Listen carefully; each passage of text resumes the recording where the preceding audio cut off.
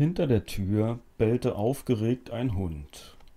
Wir, der Ingenieur Ananjew, sein Gehilfe, der Student von Stenberg und ich verließen die Baracke, um nachzusehen, wen er verbellte.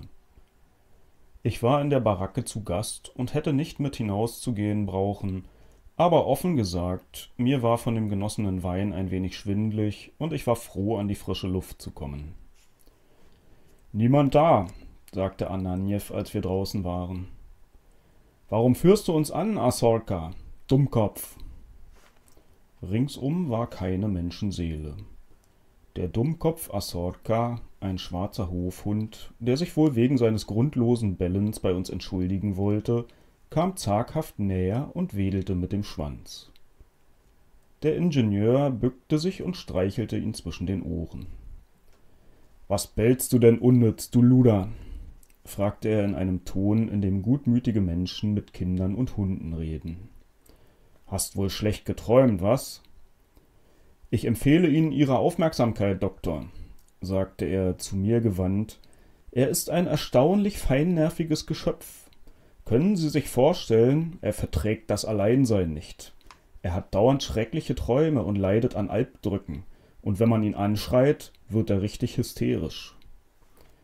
Ja, ein zart beseiteter Hund, bestätigte der Student. Assorka merkte anscheinend, dass wir von ihm sprachen.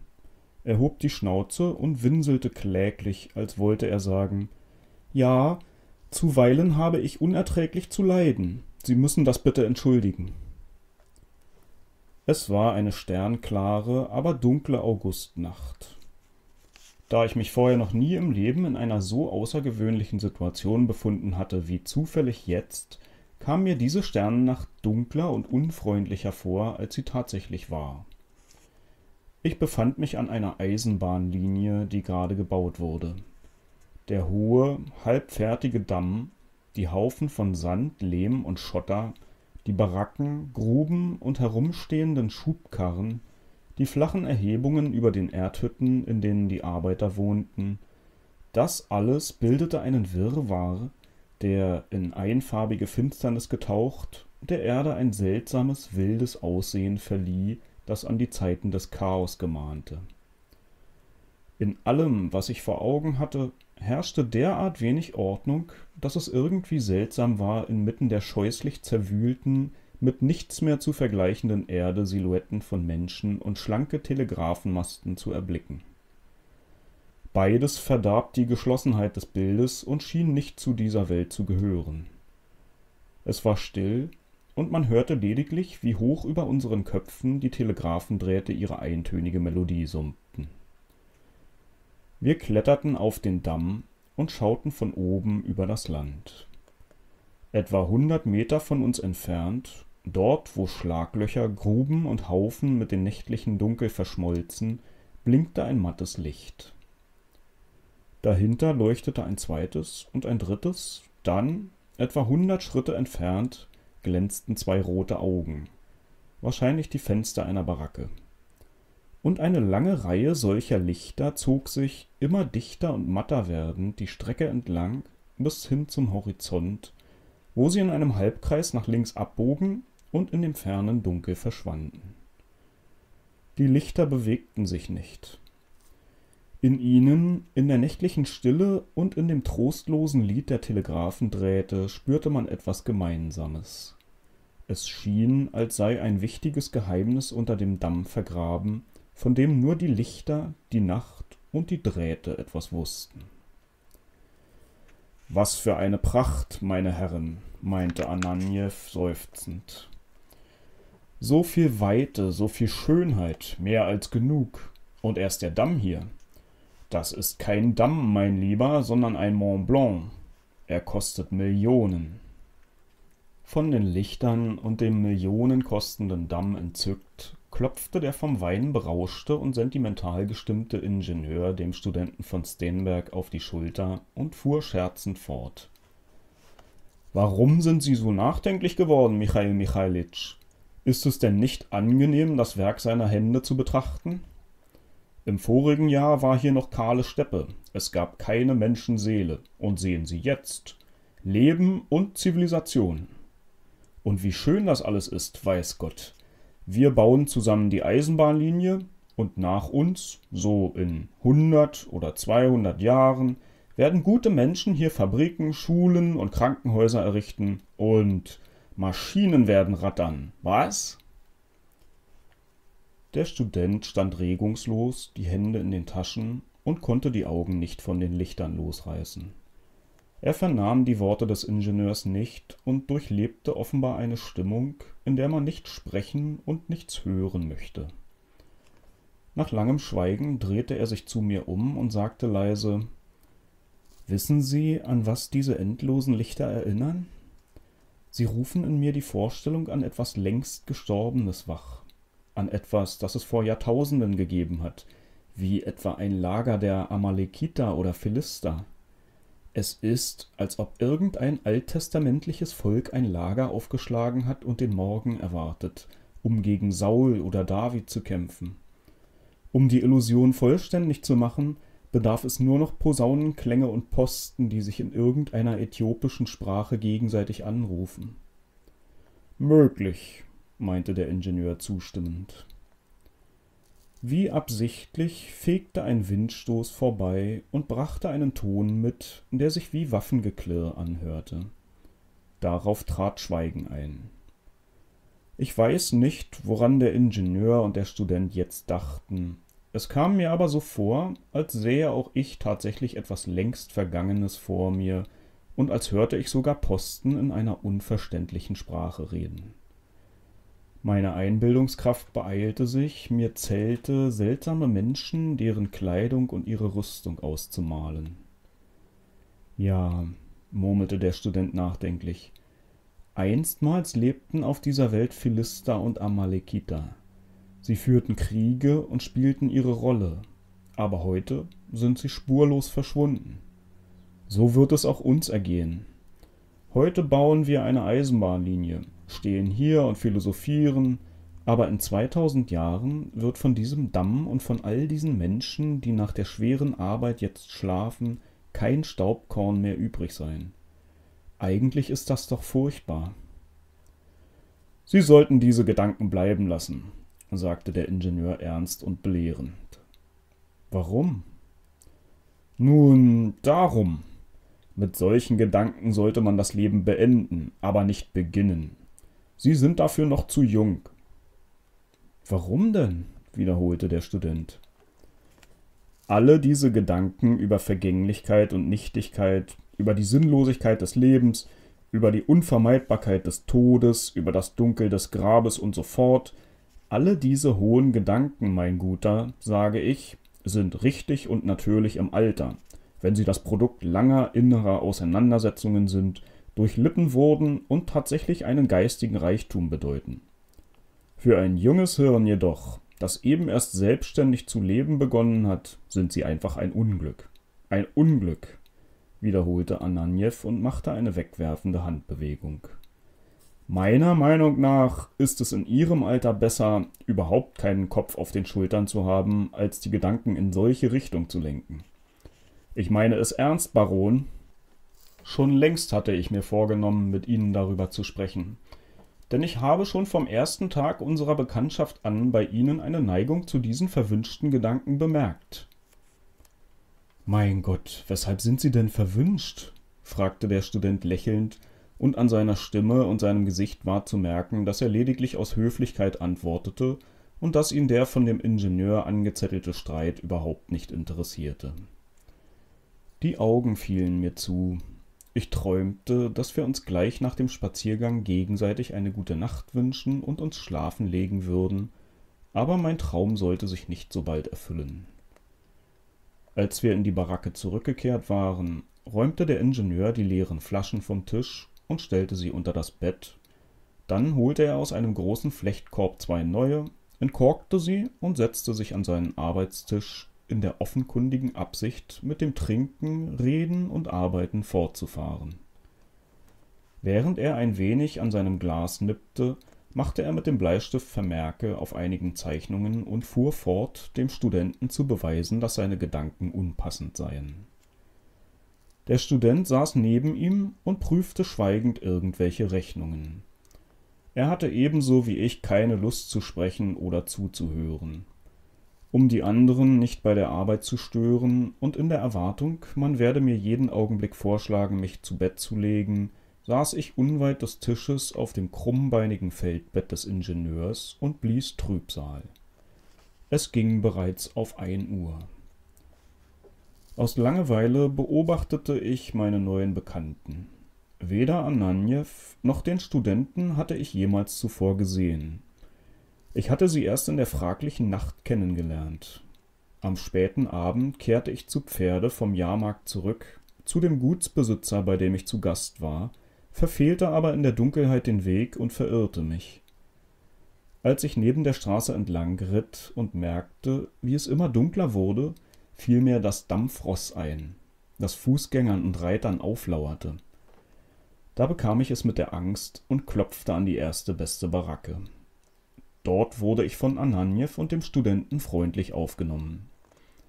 Wie das bei Menschen zu sein pflegt, die einander fremd vom Zufall zusammengeführt werden, lernten wir uns schnell kennen, schlossen Freundschaft und fühlten uns beim Tee und dann beim Wein bereits so, als wären wir schon jahrelang miteinander bekannt. Nach kaum einer Stunde wusste ich bereits, wer sie waren und wie das Schicksal sie aus der Hauptstadt in die ferne Steppe verschlagen hatte, und sie wussten, wer ich war, was ich tat und wie ich eingestellt war. Der Ingenieur Nikolai Anastasjewitsch Ananjew war ein stämmiger Mann, er hatte breite Schultern und begann, nach seinem Äußeren zu urteilen, wie Othello bereits in das Tal der vorgerückten Jahre hinabzusteigen und übermäßig dick zu werden. Er befand sich genau in dem Alter, in dem man von den Brautwerberinnen als Mann in den besten Jahren bezeichnet wird. Das heißt, er war weder jung noch alt, liebte es gut zu essen, zu trinken und die Vergangenheit zu preisen, kam beim Gehen leicht außer Atem, schnarchte beim Schlafen und legte im täglichen Umgang bereits jene ruhige, gelassene Gutmütigkeit an den Tag, wie sie ordentliche Menschen annehmen, wenn sie in die Rangklasse der Stabsoffiziere aufrücken und korpulent werden. Sein Kopf und Barthaar war noch längst nicht grau, aber er nannte bereits, ungewollt und ohne es zu merken, die jungen Leute herablassend mein Guter und fühlte sich schon irgendwie berechtigt, sie wegen ihrer Denkweise zur Rede zu stellen. Seine Bewegungen und seine Stimme waren ruhig, fließend und selbstbewusst, wie es bei einem Menschen der Fall ist, der wohl weiß, dass er den richtigen Weg eingeschlagen, dass er seine feste Tätigkeit, sein festes Brot und seine festen Ansichten hat. Sein braungebranntes Gesicht mit der fleischigen Nase und sein muskulöser Nacken schienen zu sagen, ich bin satt, gesund und mit mir zufrieden, und es wird die Zeit kommen, da werdet ihr Jungen auch satt, gesund und mit euch zufrieden sein. Er trug ein Kattunhemd mit seitlichem Schlitz und weite Leinenhosen, die in großen Stiefeln steckten. An einigen Kleinigkeiten, wie zum Beispiel dem bunten wollenen Gürtel, dem gestickten Kragen und den Flicken auf dem Ellbogen, konnte ich erraten, dass er verheiratet war und aller Wahrscheinlichkeit nach von seiner Frau zärtlich geliebt wurde. Baron Michail Michailowitsch von Stenberg war jung, drei oder 24 Jahre alt und Student am Institut für Verkehrswesen. Einzig das rote Haar und das dünne Bärtchen, allenfalls auch noch eine gewisse Grobheit und Trockenheit der Gesichtszüge erinnerten an seine Abstammung vom baltischen Adel, alles übrige aber Vorname, Glaube, Denken, Manieren und Gesichtsausdruck war rein russisch. Bekleidet war er genauso wie Ananjew mit einem blusenartigen Kattunhemd und mit großen Stiefeln. Mit seiner leicht gebeugten Gestalt, den lange nicht mehr geschnittenen Haaren und dem gebräunten Gesicht sah er weder einem Studenten noch einem Baron, sondern eher einem gewöhnlichen russischen Handwerksgesellen ähnlich er sprach wenig und bewegte sich nicht viel, trank den Wein ungern und ohne Appetit, prüfte mechanisch die Berechnungen und schien die ganze Zeit über an etwas zu denken. Seine Bewegungen und seine Stimme waren ebenfalls ruhig und fließend, aber seine Ruhe war anders als die des Ingenieurs. Das sonnenverbrannte, leicht spöttische, nachdenkliche Gesicht die etwas misstrauisch blickenden Augen und die ganze Gestalt zeugten von einer seelischen Flaute, einer geistigen Trägheit. Er machte eine Miene, als sei es ihm völlig einerlei, ob vor ihm ein Licht brenne oder nicht, ob der Wein gut oder widerwärtig schmecke, ob die Berechnungen, die er prüfte, stimmten oder nicht.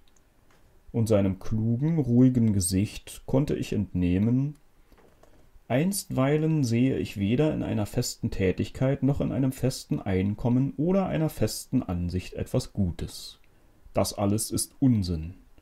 Ich war in Petersburg, jetzt sitze ich hier in der Baracke, von hier aus werde ich im Herbst wieder nach Petersburg gehen, und im Frühjahr gehe ich dann wieder hierher. Was für einen Sinn das alles hat, das weiß ich nicht. Das weiß niemand. Infolgedessen gibt es da auch gar nichts zu erläutern. Dem Ingenieur hörte er ohne Interesse und mit jener herablassenden Gleichgültigkeit zu, mit der Kadetten der oberen Klassen einem gutmütigen Aufseher zuhören, der in Fahrt gekommen ist. Es schien, als sei alles, was der Ingenieur sagte, für ihn nichts Neues, und dass er, wäre er nicht zu träge zum Reden gewesen, etwas Neueres und Gescheiteres sagen würde. Ananjew hatte sich inzwischen noch nicht beruhigt. Er hatte den gutmütig spöttischen Ton aufgegeben und sprach ernst, ja sogar mit Leidenschaft, was gar nicht zu seinem ruhigen Gesichtsausdruck passte. Offensichtlich war er abstrakten Problemen gegenüber nicht gleichgültig. Er liebte sie, verstand sie aber nicht und war nicht gewohnt, sie zu behandeln. Die mangelnde Gewohnheit schlug sich so stark in seiner Ausdrucksweise nieder, dass ich nicht gleich verstand, was er wollte. Ich hasse diese Gedanken von ganzem Herzen, sagte er.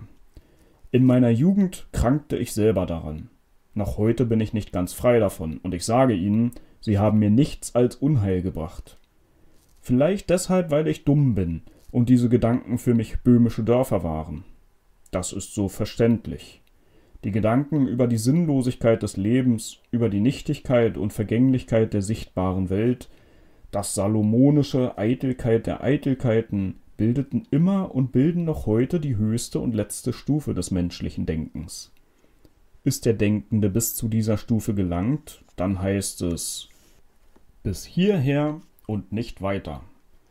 Damit ist die Tätigkeit eines normalen Hirns vollendet. Das ist natürlich und liegt in der Ordnung der Dinge. Unser Unglück besteht jedoch darin, dass wir gerade an diesem Punkt zu denken anfangen, wo normale Menschen aufhören, da fangen wir an.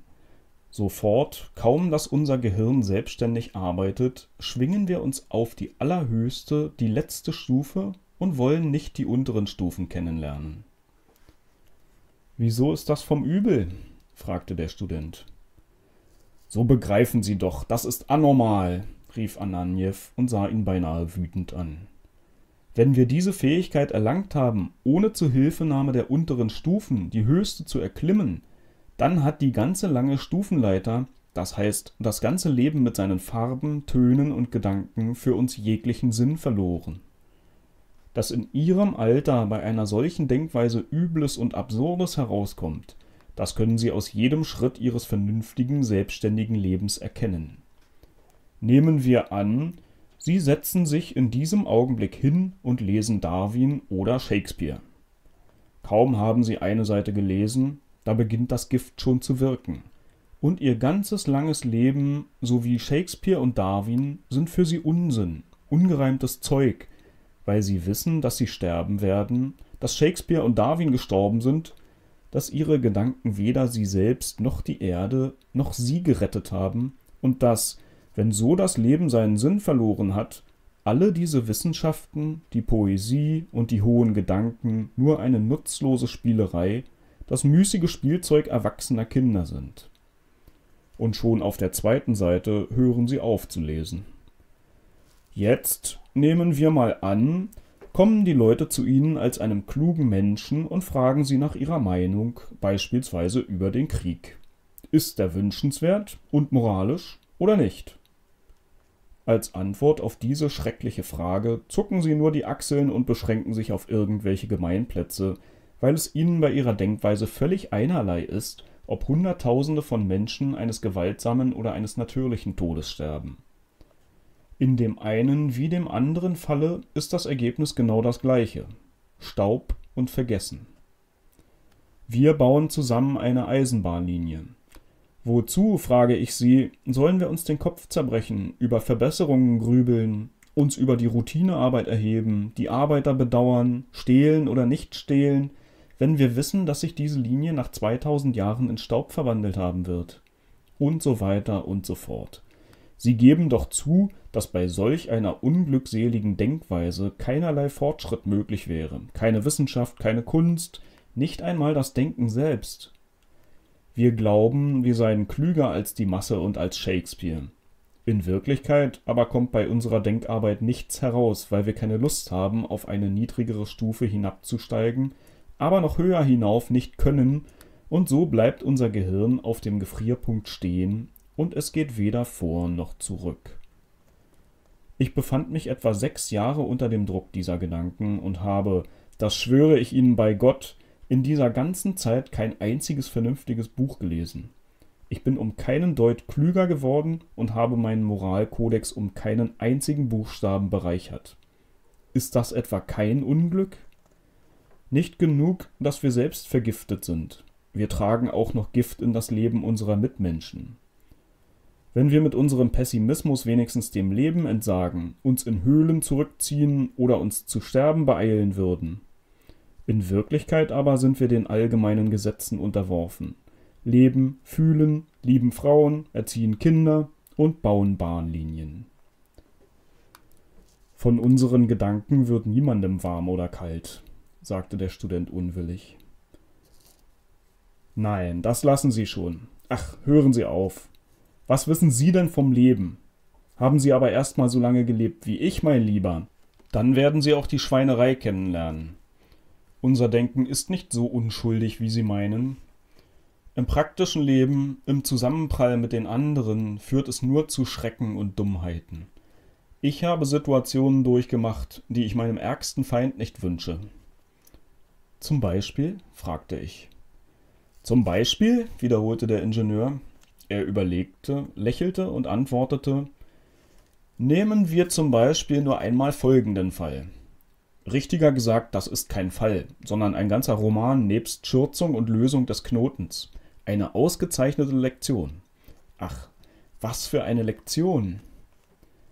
Er schenkte uns und sich Wein ein, trank, strich sich mit den Händen über seine breite Brust und fuhr mehr an mich als an den Studenten gewandt fort. Es war im Sommer des Jahres 1870, bald nach dem Krieg und der Beendigung meiner Studien. Ich fuhr in den Kaukasus und verweilte auf der Durchreise etwa fünf Tage in der Hafenstadt N. Dazu muss ich Ihnen sagen, dass ich in dieser Stadt geboren und aufgewachsen bin.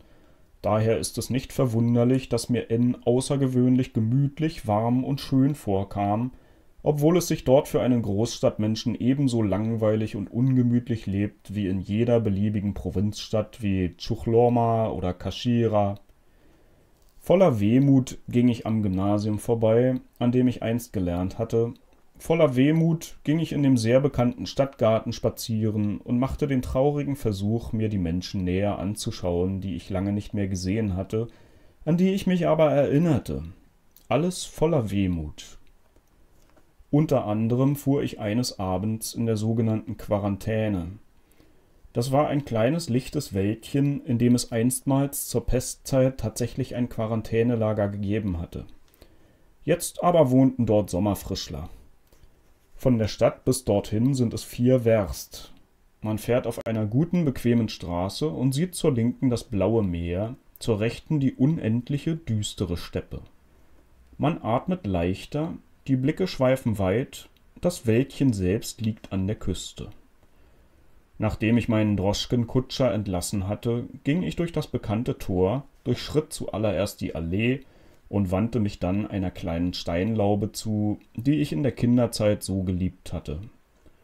Meiner Meinung nach war diese runde, schwerfällige, auf plumpen Säulen stehende Laube, die in sich die lyrische Stimmung eines alten Grabdenkmals mit der Grobschlechtigkeit eines Sobakewitsch vereinte, der poetischste Fleck in der ganzen Stadt. Sie stand unmittelbar am Rande des Steilufers und man konnte von ihr aus sehr gut das Meer sehen. Ich setzte mich auf eine Bank, beugte mich über das Geländer und blickte nach unten. Von der Laube aus führte vorbei an Lehmklumpen und Kletten ein Pfad die fast senkrecht abfallende Steilküste hinunter, wo er endete, weit unten am sandigen Ufer, schäumten träge und murmelten zärtlich leichte Wellen. Das Meer war ebenso erhaben, endlos und unfreundlich wie vor sieben Jahren, als ich nach Absolvierung des Gymnasiums nach der Hauptstadt abreiste. In der Ferne zeichnete sich dunkel eine Rauchfahne ab. Dort fuhr ein Dampfer, und außer diesem kaum sichtbaren und unbeweglichen Streifen und den Seeschwalben, die über das Wasser huschten, gab es nichts, was das eintönige Bild des Meeres und des Himmels belebte. Rechts und links der Laube erstreckte sich die unebene, lehmige Küste. Sie wissen, wenn ein schwermütig gestimmter Mensch mit dem Meer oder überhaupt mit einer Landschaft, die ihn großartig dünkt, allein bleibt, so mischt sich in seine Schwermut die Gewissheit, dass er unbekannt lebt und unbekannt sterben wird, und reflexartig greift er zum Bleistift und schreibt eilends und wahllos seine Namen irgendwo hin. Wahrscheinlich sind deshalb alle abgelegenen Eckchen, so wie meine Laube, immer mit Bleistiftnotizen vollgeschmiert und von Taschenmessern zerschnitten. Wenn ich mich recht entsinne, so las ich, während ich mich über das Geländer beugte, folgendes: ZA, das heißt zum Andenken, Iwan Korolkow, 16. Mai 1876 Neben Korolkows Eintragung hatte sich irgendein örtlicher Träumer verewigt und noch hinzugefügt: Am Meeresufer wogenwild stand er von hohen Ideen erfüllt. Seine Unterschrift war verträumt und kraftlos wie feuchte Seide. Irgendein Kross, wahrscheinlich ein sehr kleiner und unbedeutender Mensch, war sich seiner Nichtigkeit so stark bewusst geworden dass er mit seinem Taschenmesser in tiefen, daumenlangen Buchstaben seinen Namen eingeritzt hatte. Ich holte mechanisch einen Bleistift aus der Tasche und trug mich ebenfalls an einer Säule ein. Aber das alles gehört nicht zum Thema. Verzeihen Sie, ich verstehe es nicht, mich beim Erzählen kurz zu fassen. Mir war traurig zumute und ich langweilte mich ein wenig, die Langeweile, die Stille und das Murmeln der Wellen brachten mich allmählich auf dieselben Gedanken, von denen wir gerade gesprochen haben. Damals, am Ende der 70er Jahre, begann diese Denkweise beim Publikum Mode zu werden. Zu Beginn der 80er Jahre fand sie dann nach und nach Eingang in die Literatur, die Wissenschaft und die Politik.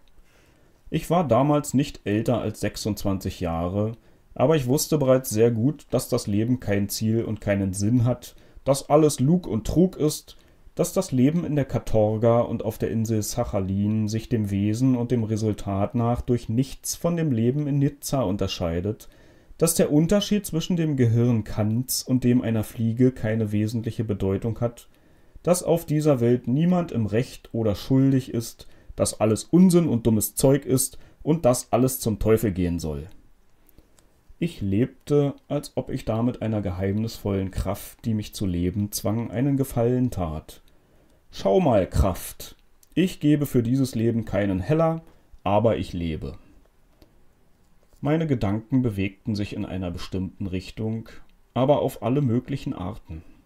Ich ähnelte in dieser Hinsicht jenem Kochkünstler, der allein aus Kartoffeln hunderte schmackhafter Gerichte zu bereiten verstand. Zweifellos war ich einseitig und bis zu einem gewissen Grade sogar engstirnig, damals aber meinte ich, der Horizont meiner Gedanken habe weder Anfang noch Ende und mein Denken sei weit wie das Meer. Nun ja, soweit ich von mir aus urteilen kann, enthält das Denken, von dem hier die Rede ist, in seinem Wesen etwas Anziehendes, Narkotisierendes, so wie Tabak oder Morphium. Es wird zur Gewohnheit und zum Bedürfnis.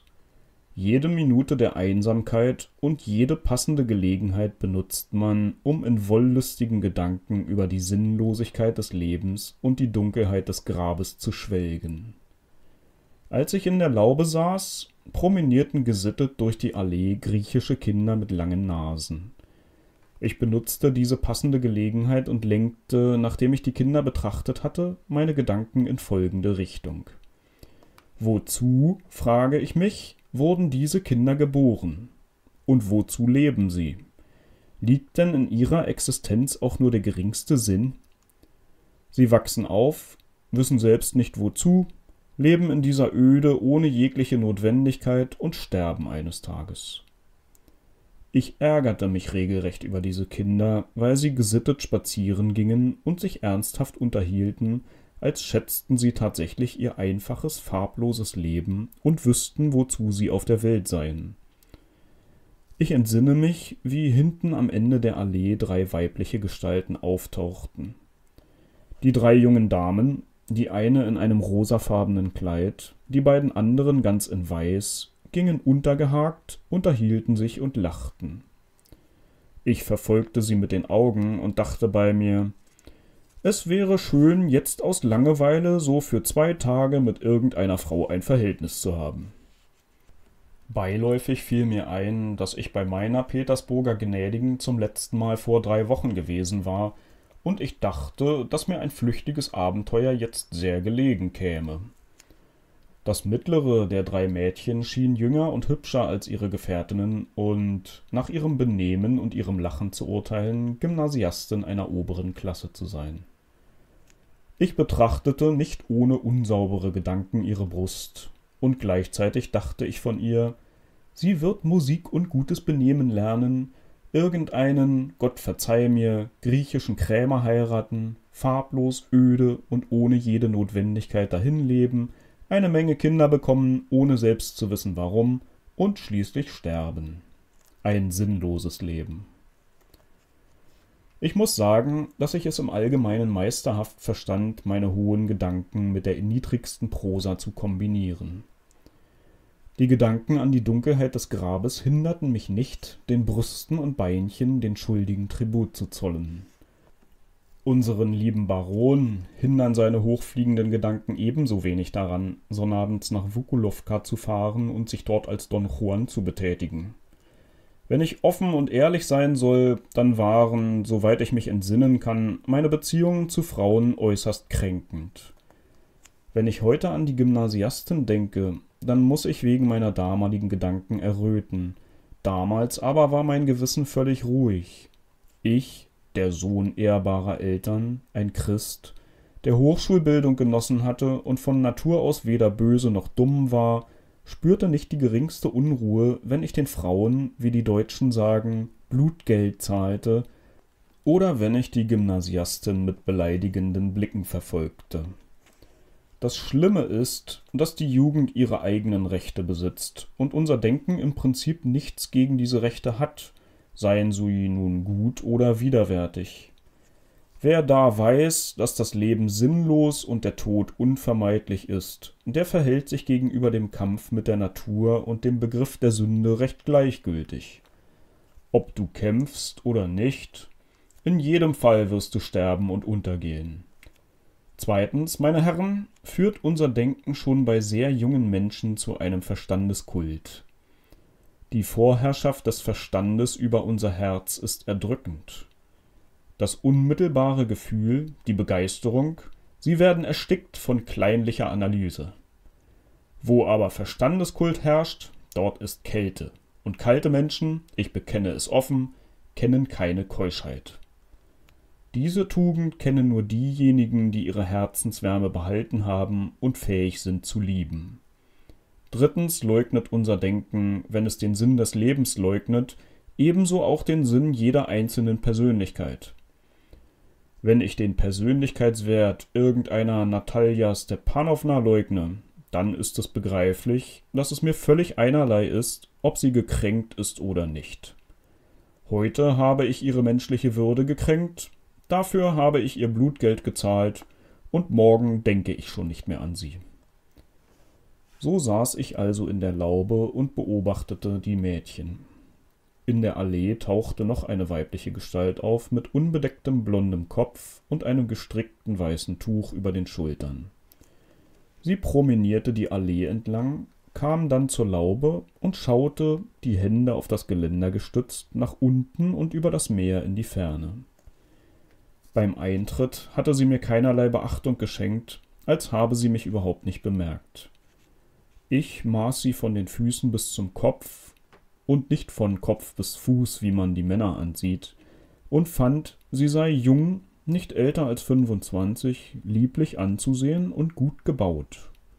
Aller Wahrscheinlichkeit nach war sie kein Mädchen mehr und gehörte zu den Anständigen. Sie war hausbacken, aber modisch und geschmackvoll gekleidet, so wie sich im Allgemeinen alle intelligenten Damen in N kleiden. Mit der müsste man ein Verhältnis haben, dachte ich, während ich ihre schöne Taille und ihre Hände betrachtete. Ganz passabel. Sicher ist sie die Gattin irgendeines Äskulap oder Gymnasiallehrers. Aber mit ihr ein Verhältnis zu beginnen, das heißt, sie zur Heldin einer jener improvisierten Abenteuer zu machen, auf die die Touristen so versessen sind, das war nicht leicht, ja kaum möglich. Das spürte ich, als ich in ihr Gesicht sah. Sie machte eine Miene, als langweilten sie das Meer, der ferne Rauch und der Himmel schon seit langem, und als ermüdeten sie ihre Augen. Sie war offensichtlich matt und verdrossen und dachte an etwas Trauriges. Ihr Gesicht zeigte nicht einmal jenen eitlen, gezwungenen, gleichgültigen Ausdruck, wie ihn beinahe jede Frau hat, wenn sie in ihrer Nähe die Anwesenheit eines unbekannten Mannes bemerkt. Die Blondine maß mich mit einem flüchtigen und gelangweilten Blick, setzte sich auf die Bank und sann vor sich hin. Und an ihrem Blick merkte ich, dass ich sie nicht interessierte und ich mit meiner hauptstädtischen Physiognomie bei ihr auch nicht die geringste Neugier erregte. Trotzdem beschloss ich, mit ihr ein Gespräch anzuknüpfen und fragte Gnädigste, gestatten Sie mir die Frage, um wie viel Uhr fahren die Linien Droschken von hier in die Stadt?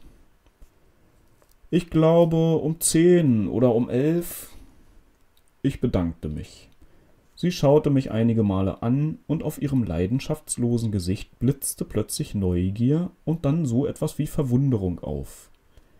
Ich beeilte mich, mir den Anschein der Gleichgültigkeit zu geben und die gebührende Haltung einzunehmen. Sie biss an.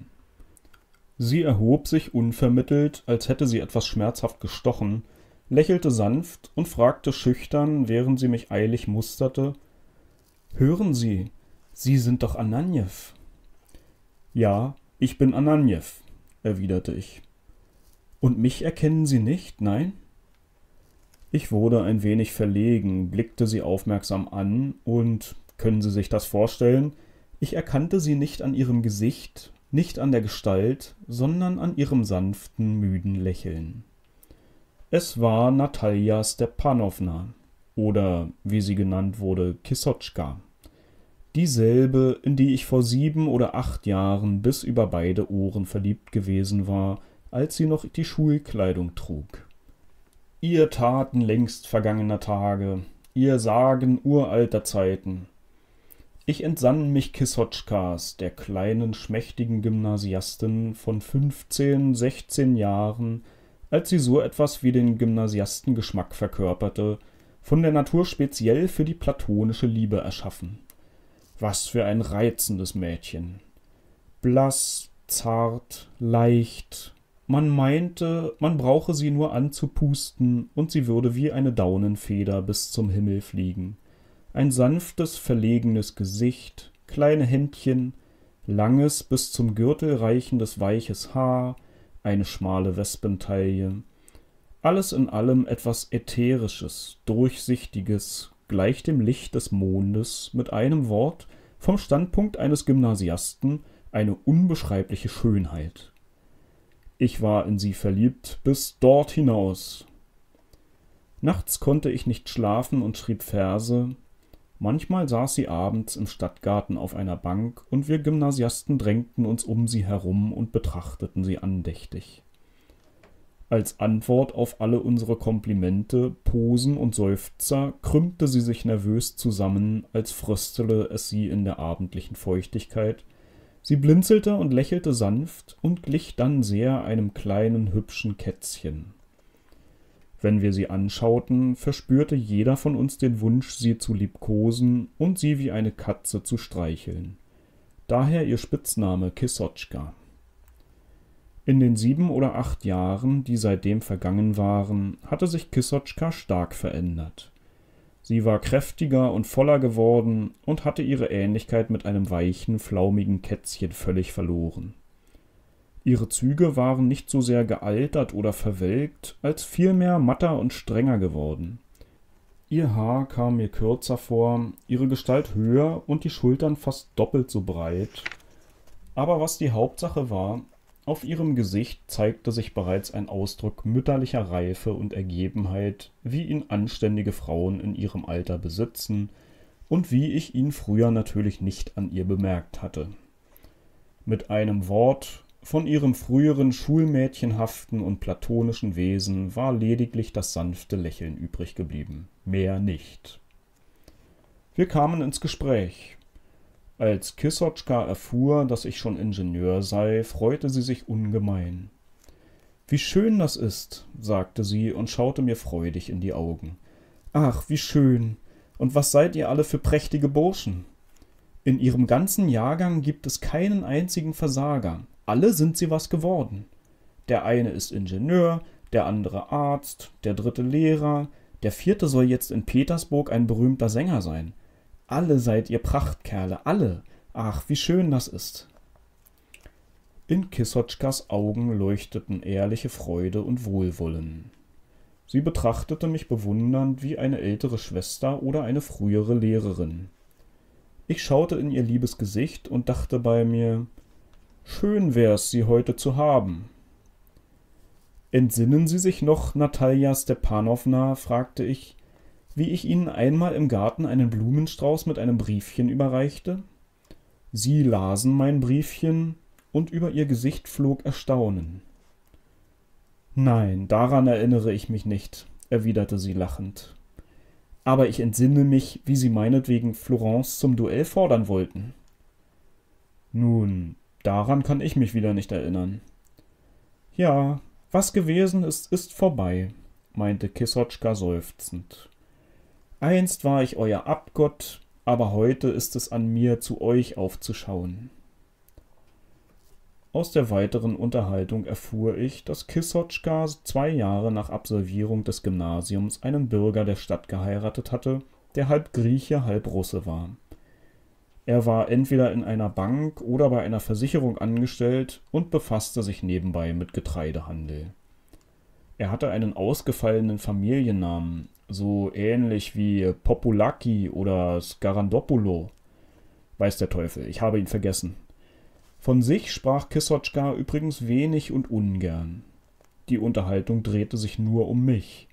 Sie erkundigte sich nach meinem Institut, nach meinen Kameraden, nach Petersburg und nach meinen Plänen, und alles, was ich sagte, erregte ihr lebhaftes Entzücken, und sie rief jedes Mal Ach, wie schön das ist. Wir stiegen zum Meer hinunter, gingen am Strand spazieren und kehrten, als vom Meer her abendliche Kühle herüberwehte, nach oben zurück. Die ganze Zeit drehte sich das Gespräch um mich und um die Vergangenheit. Wir gingen spazieren, bis in den Fenstern der Landhäuser die Reflexe der Abendröte zu erlöschen begannen. Gehen wir zu mir Tee trinken, schlug Kissotschka vor. Wahrscheinlich steht der Samowar schon längst auf dem Tisch, ich bin allein zu Haus, sagte sie, als zwischen dem Grün der Akazien ihr Landhaus auftauchte. Mein Mann ist immer in der Stadt und kommt erst nachts heim, und das auch nicht jeden Tag, und ich langweile mich ehrlich gesagt fast zu Tode. Ich ging hinter ihr und bewunderte ihren Rücken und ihre Schultern.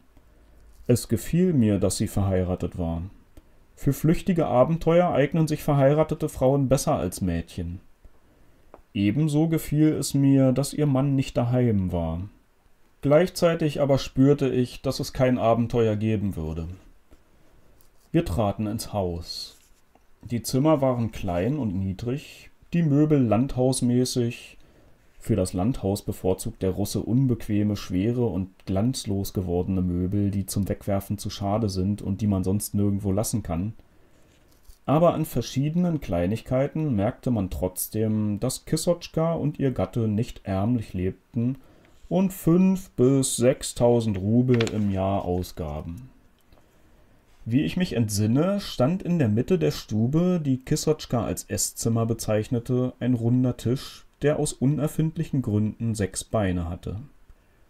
Darauf standen ein Samowar und Teetassen, und am Rande des Tisches lagen ein aufgeschlagenes Buch, ein Bleistift und ein Schreibheft. Ich schaute in das Buch und erkannte die arithmetische Aufgabensammlung von Malinin und Burenin. Aufgeschlagen war, wie ich mich noch heute entsinne, die Gesellschaftsrechnung. Mit wem lernen Sie da? fragte ich Kissotschka. Mit niemandem, erwiderte sie. Das mache ich so. Aus Langeweile erinnere ich mich an die alten Zeiten und rechne die Aufgaben. Haben Sie Kinder? Ich hatte einen Jungen, aber er ist nach einer Woche gestorben. Wir tranken Tee. Von mir entzückt sprach Kissotschka wieder davon, wie schön es sei, dass ich Ingenieur bin und wie sie sich über meine Erfolge freue. Und je mehr sie sprach und je aufrichtiger sie lächelte, umso überzeugter war ich, dass ich unverrichteter Dinge von ihr weggehen würde. Ich war damals in Bezug auf Liebesabenteuer bereits Fachmann und verstand meine Erfolgschancen richtig einzuschätzen. Man kann unbedenklich auf Erfolg rechnen, wenn man einer dummen Gans nachsteigt oder einer Frau, die eben solche Abenteuer und Gefühle sucht wie man selbst, oder auch einem gewitzten Frauenzimmer, dem man fremd ist. Wenn man aber auf eine Frau trifft, die seriös und nicht dumm ist, deren Gesicht müde Ergebenheit und Wohlwollen ausdrückt, die sich ehrlich über unsere Anwesenheit freut und vor allem die einen achtet, da kann man den Rückzug antreten. Um hier Erfolg zu haben, braucht man mehr Zeit als nur einen Tag. Kissotschka erschien bei der abendlichen Beleuchtung noch interessanter als am Tage. Sie gefiel mir immer mehr, und ich war ihr offensichtlich ebenfalls sympathisch. Und die Umstände waren ja für ein Abenteuer denkbar günstig. Der Mann war nicht zu Hause, kein Diener zu sehen, Stille ringsum. So wenig ich auch an einen Erfolg glaubte, ich beschloss trotzdem auf jeden Fall einen Angriff zu versuchen. Als erstes musste ich unbedingt zu einem familiären Ton übergehen und Kissotschkas lyrisch ernste Stimmung in eine leichtere verwandeln. Lassen Sie uns das Thema wechseln, Natalia Stepanowna, begann ich. Sprechen wir von was Lustigem. Vor allem erlauben Sie mir, Sie zum Andenken an früher Kissotschka zu nennen. Sie erlaubte es. Sagen Sie bitte, Kissotschka, fuhr ich fort, was ist eigentlich in das hiesige schöne Geschlecht gefahren? Was ist mit ihm los? Erst waren Sie so gesittet und tugendsam, jetzt aber, ich bitte Sie, nach wem man auch fragt, man bekommt Dinge zu hören, dass einem Angst und Bange um die Menschen wird. Die eine ist mit einem Offizier weggelaufen, die andere ist verschwunden und hat einen Gymnasiasten mitgelockt, die dritte, eine verheiratete Frau, ist ihrem Mann mit einem Schauspieler durchgebrannt und so weiter und so fort. Eine richtige Epidemie. So wird wohl in ihrer Stadt bald kein einziges Mädchen und keine junge Frau mehr übrig bleiben. Ich redete in einem oberflächlichen, koketten Ton. Hätte mich Kissotschka als Antwort angelacht, dann hätte ich wie folgt gesagt. Passen Sie nur auf, Kissotschka, dass Sie hier nicht von irgendeinem Offizier oder Schauspieler entführt werden. Sie würde die Äuglein niederschlagen und antworten Wer sollte Lust haben, so eine wie mich zu entführen? Es gibt jüngere und schönere. Und ich würde ihr entgegnen wo denken Sie hin, Kissotschka? Ich wäre der Erste, der Sie mit Vergnügen entführen würde. Und in dieser Art weiter, und zu guter Letzt hätte ich mein Schäfchen im Trockenen. Aber Kissotschka lachte mich nicht an, sondern machte im Gegenteil ein ernstes Gesicht und seufzte. Es stimmt alles, was man erzählt, sagte sie. Meine Cousine Sonja ist ihrem Mann mit einem Schauspieler durchgebrannt. Das ist natürlich nicht schön. Jeder Mensch muss erdulden, was ihm das Schicksal auferlegt hat, aber ich verurteile sie nicht und klage sie nicht an. Die Umstände sind manchmal stärker als der Mensch. So ist es, Kissotschka. Aber was für Umstände können eine ganze Epidemie hervorrufen? Das ist sehr einfach und verständlich, sagte Kissotschka und zog die Augenbrauen hoch. Bei uns wissen die intelligenten Frauen und Mädchen überhaupt nicht, was sie anfangen sollen.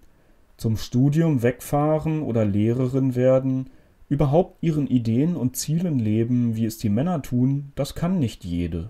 Man muss heiraten. Und wen soll man heiraten? Ihr jungen Männer absolviert das Gymnasium, fahrt zur Universität und kehrt nie mehr in die Heimatstadt zurück. Ihr heiratet in der Hauptstadt und die Mädchen bleiben zurück. Wen sollen sie heiraten? Nun, da es keine ordentlichen gebildeten Menschen gibt, heiraten sie weiß Gott wen, irgendwelche Makler oder Halbgriechen, die nichts weiter können als trinken und im Club randalieren. Und die Mädchen heiraten sozusagen sinnlos. Wie ist das Leben danach? Das wissen sie. Selbst eine gebildete, wohlerzogene Frau lebt mit einem dummen, schwierigen Mann zusammen. Begegnet ihr ein intelligenter Mann, ein Offizier, Schauspieler oder Arzt. Nun, so verliebt sie sich gleich. Das Leben wird ihr unerträglich, sie läuft ihrem Mann weg, und man kann sie nicht verurteilen. Wenn es so ist, Kissotschka, wozu dann überhaupt heiraten? fragte ich. Natürlich, erwiderte Kissotschka und seufzte, aber jedes Mädchen glaubt doch, es sei besser, einen Mann zu haben als gar nichts. Überhaupt, Nikolai Anastasjewitsch, hier lebt man schlecht, sehr schlecht. Die Mädchen wie die verheirateten Frauen ersticken fast. Da lacht man über Sonja, weil sie weggelaufen ist, noch dazu mit einem Schauspieler. Wenn man ihr aber ins Herz sehen könnte, würde man nicht lachen. Hinter der Tür bellte wieder Assortka. Er fletschte wütend die Zähne und schien jemanden zu verbellen, dann heulte er bang auf und sprang mit dem ganzen Körper rückwärts gegen die Barackenwand. Ananjews Gesicht verzog sich mitleidig. Er unterbrach seine Erzählung und ging hinaus. Etwa zwei Minuten lang hörte man, wie er hinter der Tür den Hund beruhigte. Guter Hund, armer Hund. Unser Nikolai Anastasjitsch redet gern, sagte Stenberg lächelnd. Ein guter Mensch, fügte er nach kurzem Schweigen hinzu. Als der Ingenieur in die Baracke zurückgekehrt war, schenkte er wieder Wein in unsere Gläser, strich sich lächelnd über die Brust und fuhr fort. So war also mein Angriff erfolglos geblieben. Da war nichts zu machen.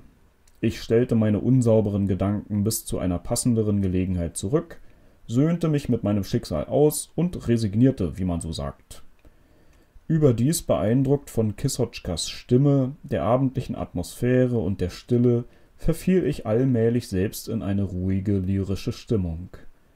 Ich entsinne mich, wie ich an dem sperrangelweit geöffneten Fenster im Sessel saß und auf die Bäume und den dunkel gewordenen Himmel blickte. Die Silhouetten der Akazien und Linden waren dieselben wie vor acht Jahren. Ebenso wie damals in meiner Kindheit klimperte irgendwo in der Ferne ein verstimmtes Klavier.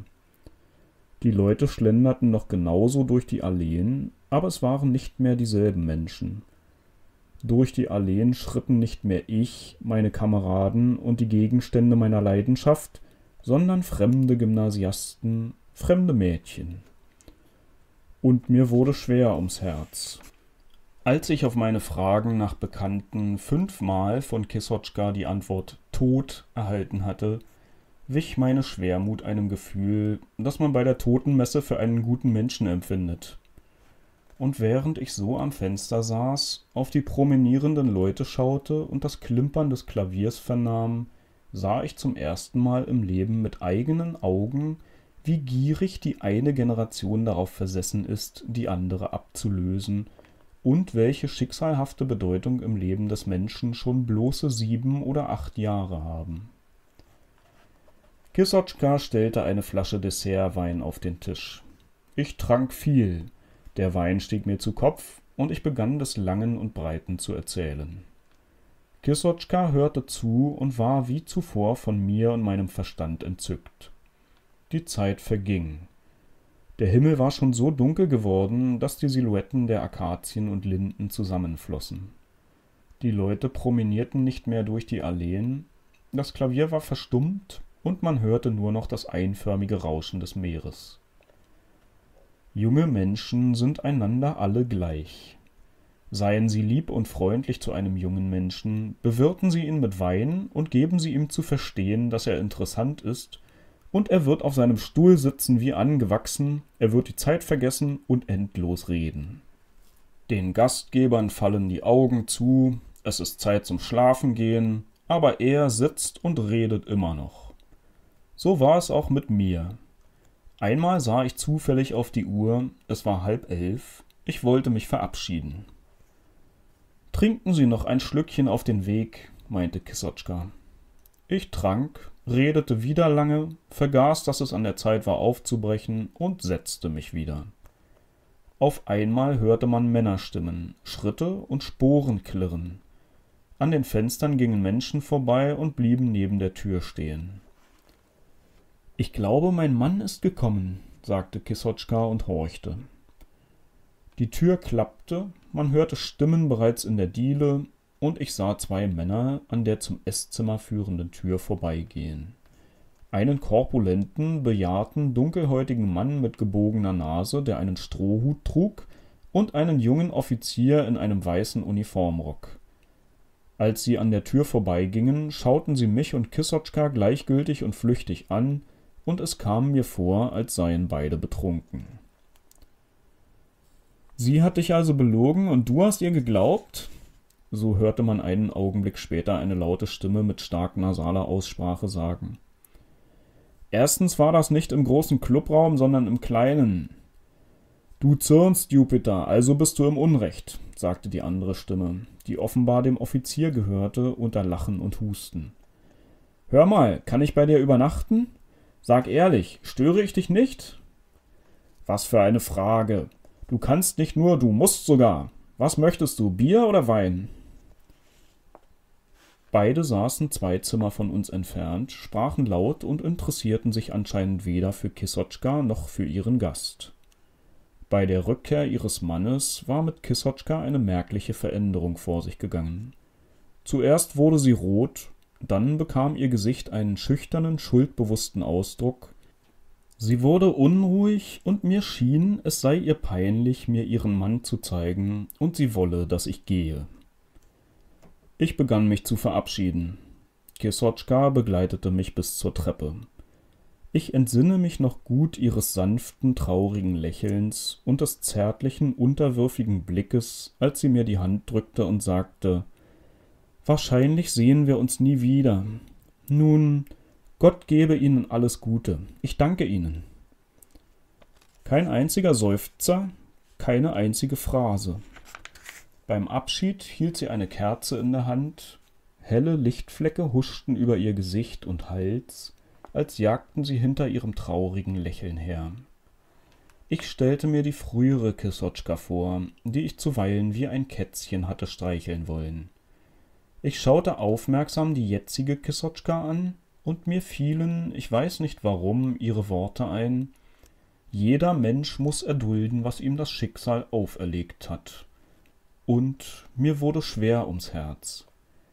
Mein Instinkt erriet und mein Gewissen flüsterte mir, einem glücklichen und gleichgültigen Menschen, zu, dass vor mir ein guter, wohlwollender und liebender, aber gequälter Mensch stehe. Ich verbeugte mich und ging zum Tor. Es war bereits dunkel. Im Süden brechen die Julinächte zeitig herein und es dunkelt rasch. Gegen zehn Uhr ist es gewöhnlich schon so finster, dass man die Hand vor den Augen nicht sieht. Ehe ich beinahe tastend das Tor erreichte, musste ich zwei Dutzend Streichhölzer entzünden. Kutscher, rief ich, als ich aus dem Tor trat. Kein Laut, kein Seufzer antwortete mir. Kutscher, wiederholte ich. He, Droschke! Doch kein Kutscher ließ sich blicken. Es war totenstill. Ich hörte nur, wie das Meer einschläfernd rauschte und wie mein Herz von dem Wein klopfte. Ich blickte zum Himmel hinauf, kein einziger Stern. Es war finster und trübe. Offenbar war der Himmel bedeckt. Ich zuckte die Achseln, lächelte albern und rief noch einmal, nicht mehr so entschlossen, nach einem Kutscher.